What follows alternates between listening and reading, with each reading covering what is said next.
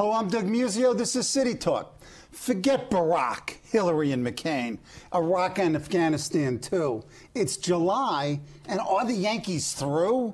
If you're not into baseball, Billy, Reggie, George, Sparky, Bucky, and Lou, change the channel.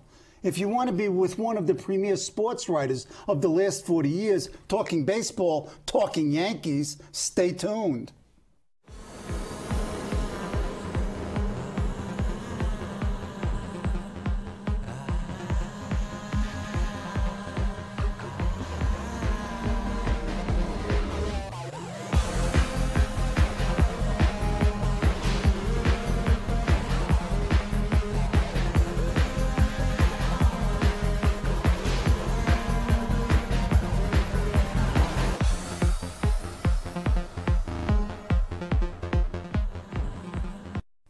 Joining me today is Phil Pepe, New York Yankee beat writer for 21 years, author of more than 40 books, eight of them on my Yankees. He's recently published two welcome additions to my Yankee library Magic Yankee Moments and The Ballad of Billy and George, the tempestuous baseball marriage of Billy Martin and George Steinbrenner.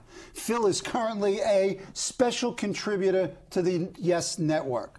Welcome back, Phil. Thank you, Doug. I love the books. This week, 30 years ago, Billy Martin tells reporters they deserve each other. One's a born liar and the other's convicted. The next day, Billy resigns, and in true Twilight Zone fashion, after five days, what happens? he comes back to be a manager of the Yankees. Set the scene for the comeback. Were you there? Well, okay, let's start with the fact, with a confession. I did not make the trip to Chicago and Kansas City. I was not there in the airport. Oh, I know. Is this one of the things that you want to kick yourself Well, on? yeah, kind of. Sure, of course. Uh, would, if I had I known that the the uh, Uh, all hell was going to break, break Sure. loose, I would have been there. But I chose. I, I don't know why. I can't remember whether I had other assignments or just needed some time off, which you know occasionally you would get a little of that. And I thought this would be a good trip to to miss, and it turned out to be not a good trip to miss. But it didn't take long for me to catch up. I mean, it, actually, even when that happened, I was called and I had to write from New York mm-hmm. about this, the overall situation, and of course went right back once the Yankees got home, uh, and then that unbelievable day, uh, old timers day. Right. I mean, nobody. I mean, had- I'm watching this on television. You're you're there. I'm in the in the press box. No. You know, and What was the what was the reaction? there was a buzz. At first, it was uh, the, when it was announced by Bob Sheppard. It was almost like a, a, a momentary silence as people absorbed what was happening, and then there was a roar. The, the fans loved Billy, and they were excited that he was coming back. He runs out onto the field. Joe DiMaggio was beside us. He could You give me goosebumps. Go unbelievable, ahead. He said, "It's oh, this is unbelievable." Uh, the players, one or two players had an inkling. I think Sparky Lyle mentioned that Billy was hanging around uh, the ballpark that day and the day before, and he kind of sensed that something was up, but he had no clue what it was going to be. The idea that he was coming back to manage. I'm, okay, so you know the ball, ballad or the battle of, of Billy and George. This is like a psychodrama, and it's not only a psychodrama with the two of them. You got to add Reggie and a whole bunch of other lunatics into the mix, Sparky and Thurman and the rest of them. Talk about talk about that team and its predecessor, the '77 Yankees. Just give us, you know, a little history. Well, I think you go back to uh, the Yankees had won the pennant in 1976. The, the, the stadium had reopened Right. after two years at Shea. So they go back to this renovated Yankee Stadium, and everything is. One of the teams started winning. Billy, uh, his first year, full year as a manager. Uh, that was the year that uh, they they opened the season in Milwaukee, and he pulled that great stunt where uh, Don Money had hit a game-winning home run, and. Billy uh, noticed that Chris Chambliss had asked for time Right, out. I remember. So Billy pulls this out of his hat like a rabbit out of his well, hat. he did that with George Brett with the Pine Tar. Right. man. But here, this is his first. And he, and he pulls one of those Yeah. tricks. So he- right away, you get the feeling. I mean, the magic is back. It's Billy's magic. He's going to. Uh, he everywhere he has gone, he's turned a losing team into a winning Minnesota, Detroit, Texas. Right. And he gets fired everywhere. gets fired. And gets fired pretty quickly. Exactly. And he, but makes them win division titles or, or doubles their attendance, and he's gone. It's What- just a pattern. crazy. So with the- now the team start, starts to win, and they you know, they won that pennant pretty handily, Mm-hmm. very easily, and uh, so they do that, but they lose the World Series. I was in the, my first World Series game was Game Four, and it was just a four-game sweep, and it was it was depressing. they got wiped out. George, uh, I mean, was all over Billy, telling him, "I want a ring. I don't want a uh, pennant. I want a ring." And Billy was disconsolate. He he hid from the press. He went into the trainer's room. He was in tears. So now 77 comes along, and they hire and they bring in Reggie Jackson. He's going to be the Right. the difference maker. and Jackson starts off really on the wrong foot. I think, and I fault Billy for And this. Billy. When Jackson showed up in Fort Lauderdale, Billy ignored him. What was what, what what what's the psychological dynamic here? Was he racist? Was he No, totally no, insecure? no, hard- no. What was it? What it was is he didn't like the style of play that Reggie brought. He wanted when they went out after free agents, he begged George Steinbrenner to sign Joe, Joe Ru- Rudi, who was on the same team who was with a better Reggie, player, better all-around player, more the Oakland type of player yep. Uh-huh. Billy thought was a winner. Didn't think Reggie was a winner. But George, in his infinite wisdom, and I, I side with him on this. He was looking for more. He was looking for more than just a player. He wanted a spark. He wanted a, a drawing card. He wanted a marquee name. He wanted pizzazz. He, Reggie Jackson was the perfect guy for him. But Billy resented the fact that George d- disagreed with him, didn't take his suggestion. Plus the fact when when George was romancing Reggie and, and trying to sell him on coming to New York because he didn't offer as much money as other teams. Right, had. right. Billy was sitting in his hotel room in uh, New Jersey and wasn't even welcome, wasn't even invited. Billy even made the comment, he's taking Reggie to lunch, and here I am right across the bridge, and he doesn't even contact me.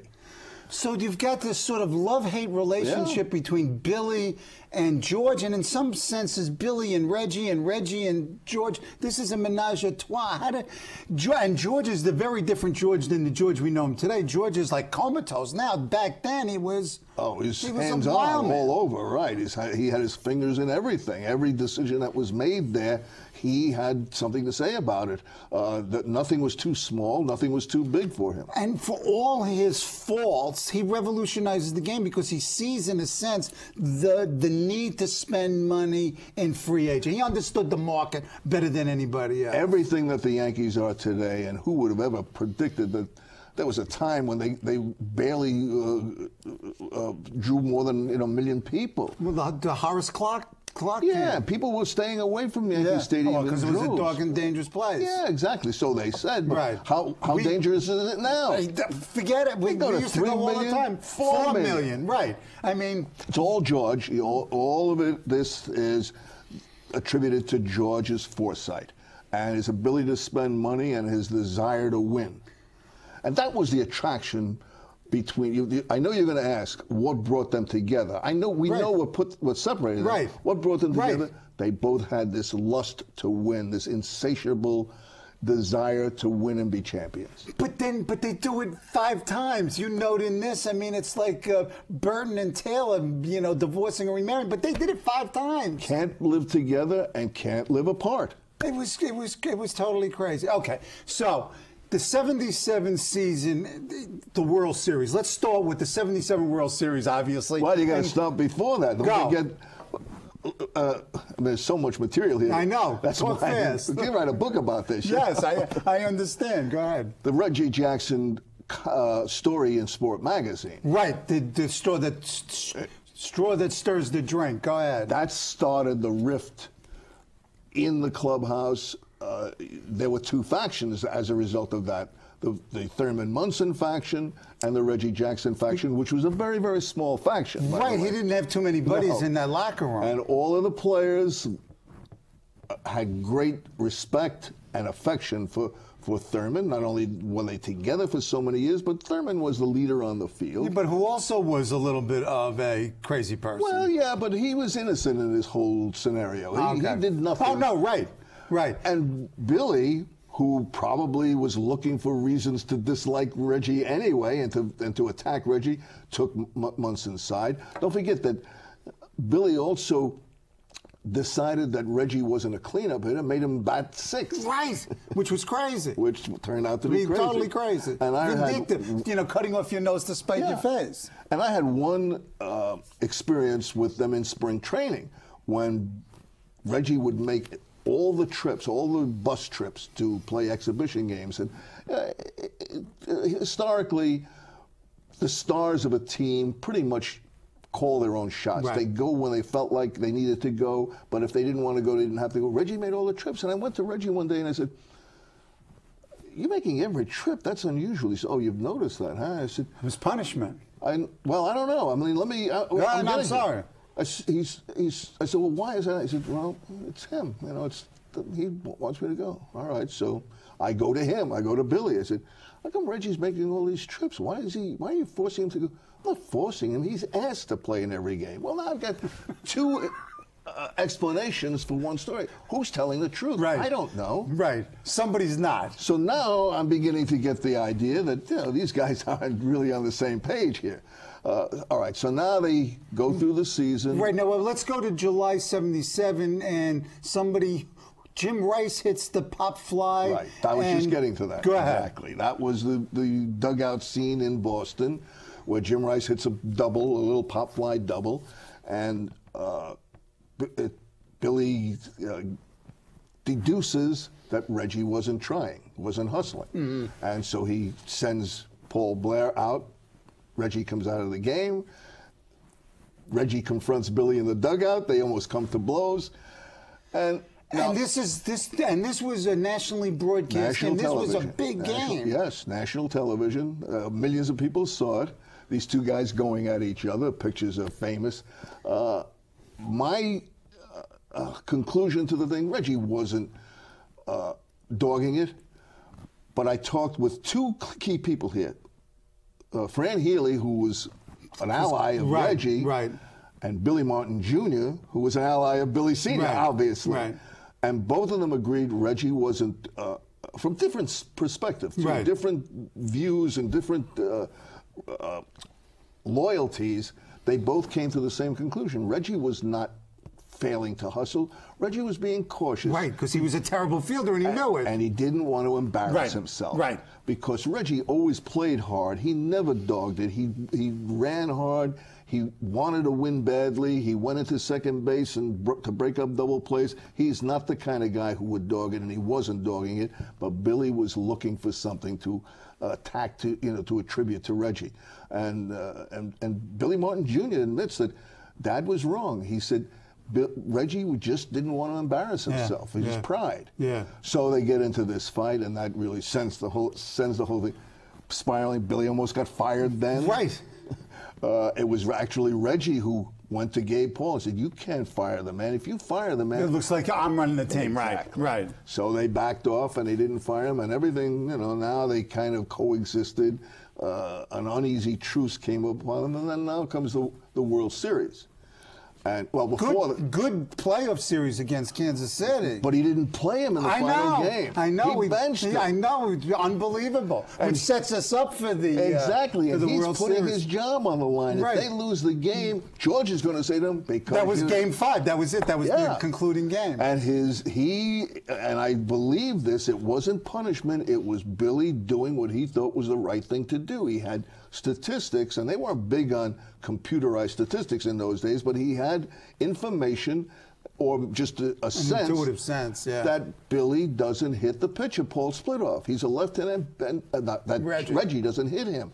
So he's better off not starting him. And then he uses him as a pinch hitter, and Reggie got a big hit. right. And they tied the game the next inning. Yeah, and then they won it. And then they win it. Yeah, and- and right. So they win the Okay, pennant. so they go into the World Series. So and talk Reggie about has that phenomenal. Is that the is that the most? Were you there? To, Oh, yeah, sure. Is that the most exciting baseball single event that you've ever been at? yeah, it was for me, and maybe because I was covering the team. I mean, you have to think of things like uh, Mazeroski's home run and Kirk Gibson's Or, home or the run. ball that hits Kubek in the throat before Mazeroski's home run. Carlton Fisk's home run. There have been a lot right, of them, but for me, that was the, the greatest performance. Okay, start with the game before the big game. Well, he- they they got blown out in, in L.A. and they had to come back to New York to uh, to win the World Series, but, but uh, they got blown out. But in the last at bat, his final at bat, Reggie hit a home run. Right, on the first pitch. On the first pitch. So consequently, he hit four consecutive home runs. Talk about him getting. I mean, the,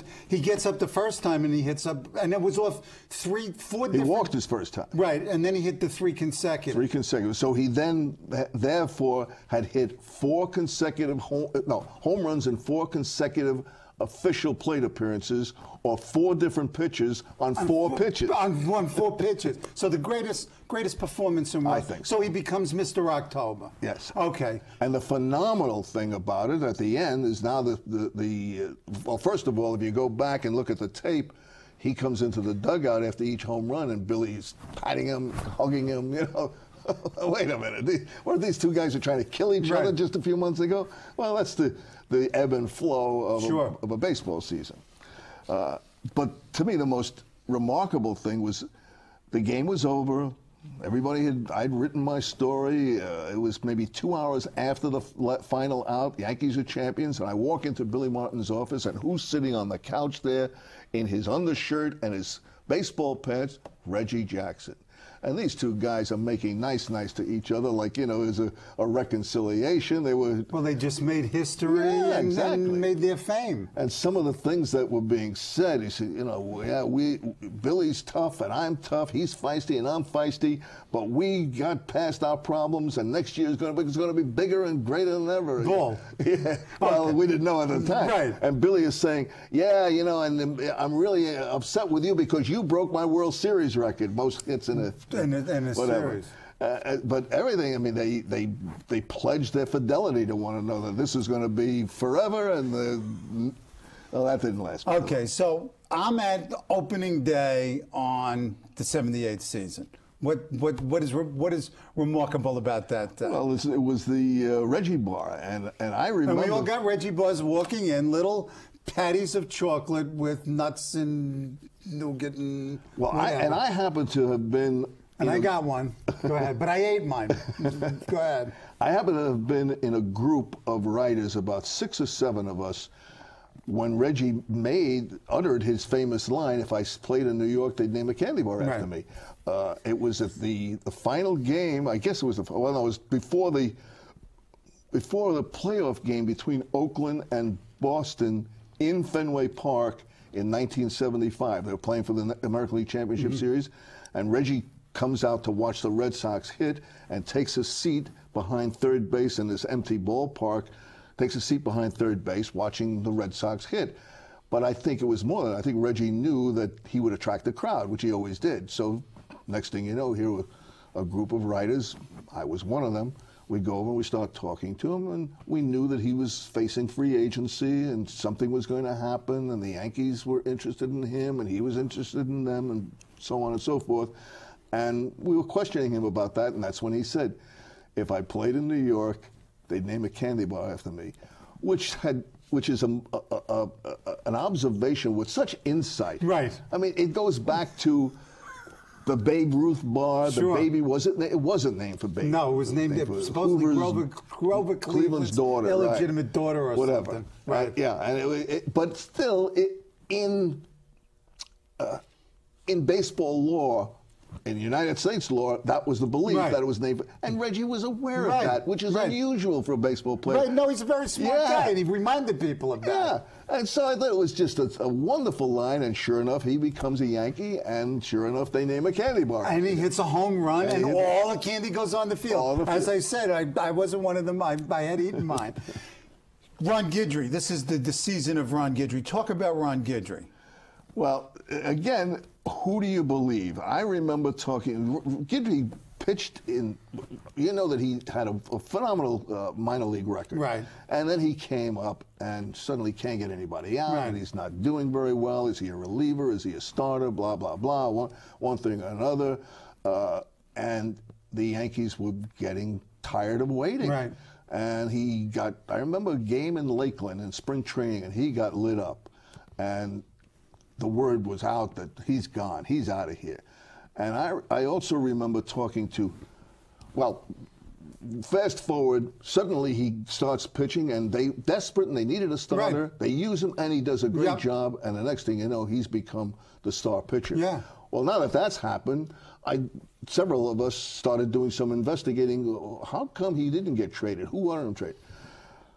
According to Steinbrenner, I wanted to keep him, but it was Gabe and Billy who wanted to trade him. But I told them, no, you can't trade him. Okay. Go to Gabe Paul. Tell the story. Billy and George wanted him out of here. I told him, no, he's got too much ability. You keep him. Okay. Go to Billy. What you? What was the reason? What turned things around? George and Gabe wanted to trade him. I told him, you better not. He's too good. He's going to be a good pitcher. Now, who's telling the truth? I don't know. But 78, he has one of the truly great seasons. One of I the mean, great in my seasons lifetime, the the Gibson season and the Co- one of the Koufax seasons were the what what. No. But this The was greatest bad. season Oh, in the history of baseball Oh, no, for a I- pitcher Go ahead. was Steve Carlton in 1972. With the terrible team, you're right. 27 Yeah. wins, the team won 59. Yeah. Okay. You're right. You're right. Nobody can- Ferguson Jenkins is another one of these guys who pitched with a really terrible Yeah, a team. of some guys did, but good. Yeah. nobody ever No, that's won good. the, the 42% of his team's Team games. Okay. Okay. Talk about Guidry though. Uh, phenomenal. just phenomenal. Great one loss. Tremendous ERA. 25 and 3, lost three games that season, all to a guy named Mike. Mike Flanagan, Not not a bad pitcher. Mike Caldwell from, from Milwaukee, and I can't remember, it was, it was the California Angels. Mike, uh, I can't, it's names, but anyway, it was just Right. just a little trivia question. So Billy, we opened the show. Well, Billy, but, but, but, but is he's a little bit of a guy. He's like 165 pounds, and he could throw so hard and had a great slider. And I was at the game when he struck out 18 batters. It was California Angels. yeah, it was uh, spine tingling. It was just incredible. Uh, and that was the, the first time I ever heard a crowd, or saw a crowd, rise up with two strikes on a batter and encourage the pitcher. And now it's- now it's common practice. Exactly. And that and he was just phenomenal. Yankees fall way behind. Red Sox are in the lead. We're in August, and we all think the, the Yankees are finished. What happened was the Red, the Yankees had a lot of injuries in the first half of the season, and the, and the uh, Red Sox had hardly any.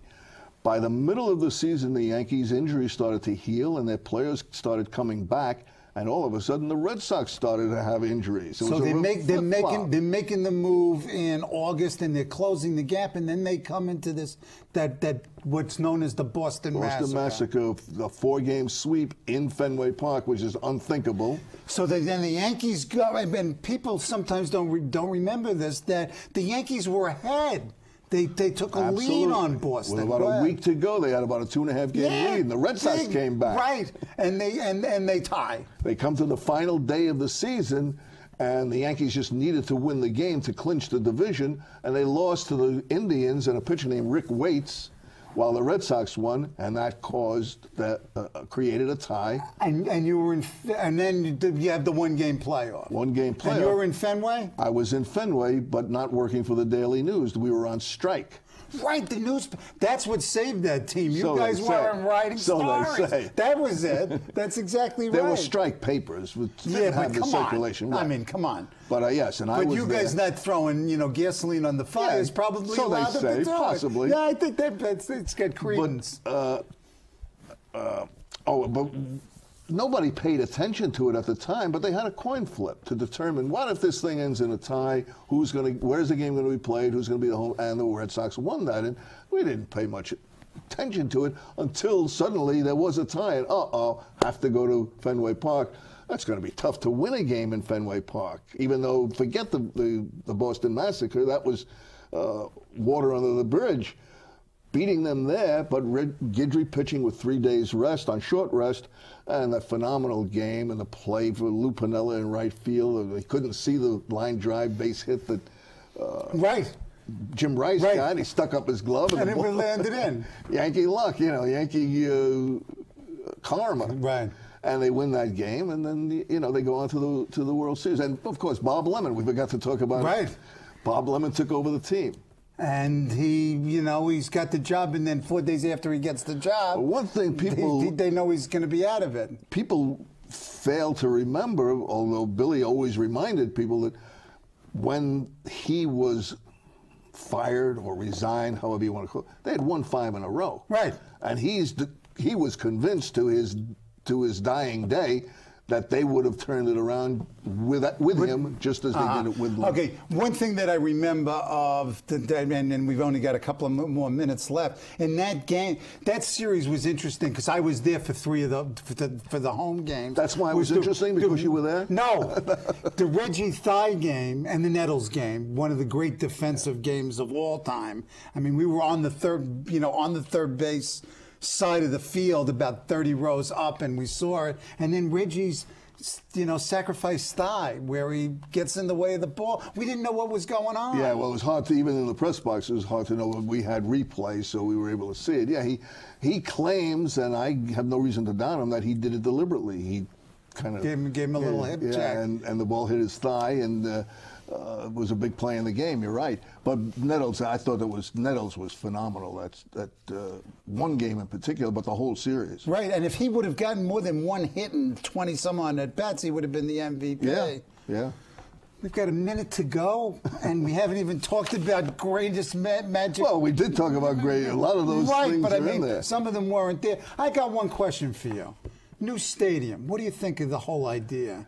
Well, I, I, I have mixed emotions, but I understand progress. But I'm such a traditionalist. Oh man, you how do they do it? I know. I, I mean, I wish Ebbets Field and Polo Grounds were still I mean, around. but it's sacred ground. What's wrong with that? I know. Money. I know. I just, but it's it's all money motivated. They're going to have luxury boxes that are going to be very, very. And how much is a seat going to cost? I can't take my kids to a game. Minor league games. Forget it. Yeah. Okay. I, I know I'm running over.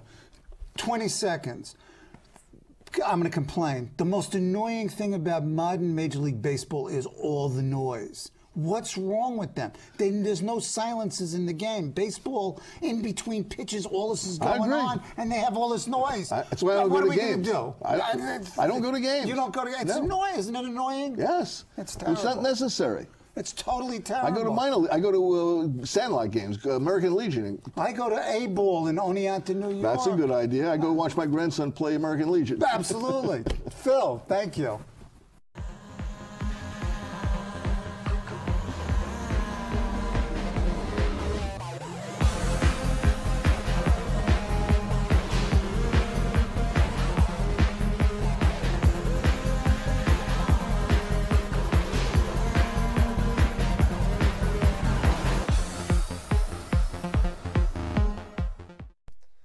I'm Doug Muzzio. Let us know what you think about this show. You can reach us at cuny.tv. When you get there, click on the bar that says Contact Us and send your email. Whatever it is. Thanks, no thanks, obnoxious, do it. Send it.